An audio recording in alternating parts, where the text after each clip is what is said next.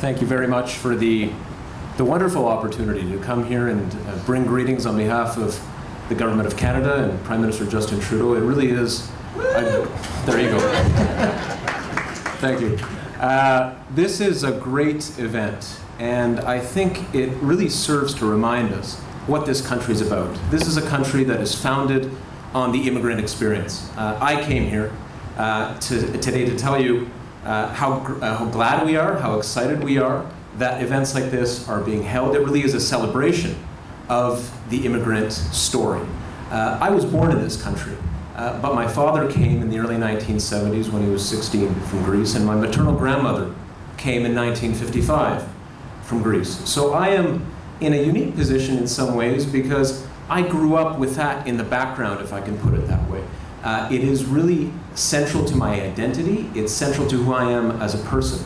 And I look forward very much to hearing the stories today from Bassam, from Bianca, from Fong, about their journeys of migration and learning more about the challenges that they face, but also the opportunities that they see going forward. I think it's very, very important that we listen to that, and in listening to it, we also celebrate this idea of immigration.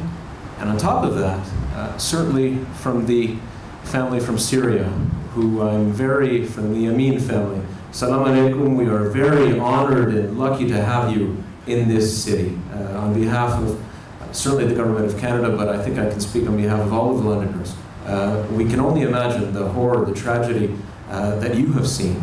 And uh, it is our great honor to have you in this city, and I really look forward to, to hearing from you and getting to know you a little bit after the event. If we could speak, I would be glad to, uh, to chat with you a little bit. So once again, uh, it's wonderful, uh, Vicky, to have the opportunity to come here. Uh, and I, I look forward to coming to this event uh, next year and the year after that. Now, my staff tells me don't commit to anything, but I, I want to commit to the important, important events like this because it really is crucial to this city that we celebrate migration, immigration, the refugee experience, all of it here at Western. Thank you very much.